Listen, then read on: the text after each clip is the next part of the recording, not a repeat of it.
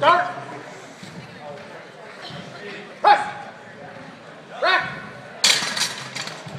And that's a good lift. Three white lights.